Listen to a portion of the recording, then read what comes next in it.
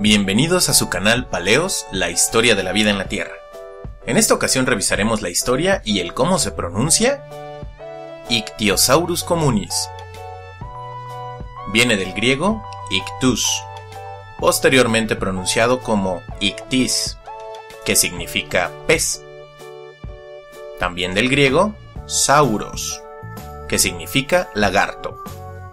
Y del latín communis, que significa común. Ictiosaurus communis. Lagarto pez común. Ictiosaurus communis. Formas incorrectas de pronunciarlo. Ichtiosaurus. Ichthyosaurus.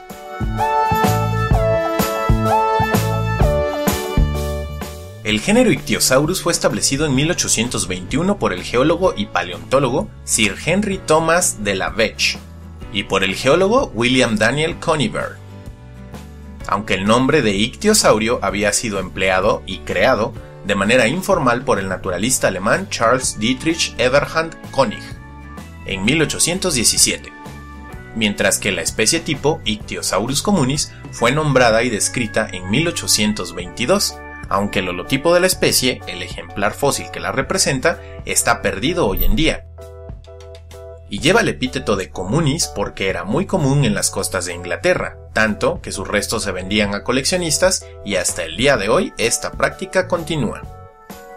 Entre 1818 y 1819, Koenig estaba convencido de que Ichthyosaurus representaba una forma transicional entre los animales acuáticos y los terrestres, por lo que trató de cambiar, sin éxito, el nombre a Proteosaurus, el primer lagarto.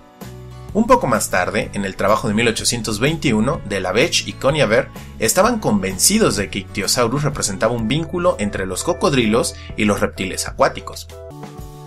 El nombre lagarto pez le fue dado no porque supieran de la forma del cuerpo de los ictiosaurios, de hecho, ni siquiera sabían qué tanto se parecían a los peces en su forma, con aletas que incluso imitan las estructuras caudales de los peces y para muestra una reconstrucción de un ictiosaurio de la época en la que fueron nombrados.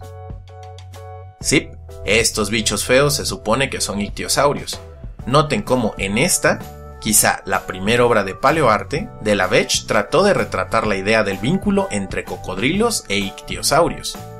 Y por acá pueden ver a un cocodrilo. Los primeros ejemplares con el contorno de piel y por ende la forma real de estos animales fueron descubiertos en 1832 en Lyme Regis, Dorset, Inglaterra, por la famosa cazadora de fósiles Mary Anning y el coleccionista Thomas Hawkins.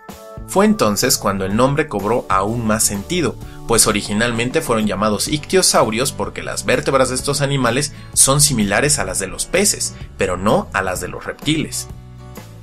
Ichthyosaurus communis era pequeño, medía un máximo de 2 metros de largo, vivió durante el Jurásico temprano, entre hace 200 y 185 millones de años, en lo que hoy es Bélgica, Suiza y el Reino Unido, lugares que durante este tiempo fueron un mar poco profundo y cálido, donde se alimentaba de peces y cefalópodos similares a los calamares.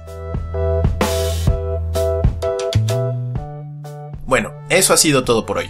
No te olvides de dejar tu paleo like si te gustó el video y si aún no te suscribes, no esperes más y hazlo. También no olviden activar la campana de notificación para estar al tanto de nuestros nuevos videos. Esto fue Paleos, la historia de un lagarto pez en la Tierra.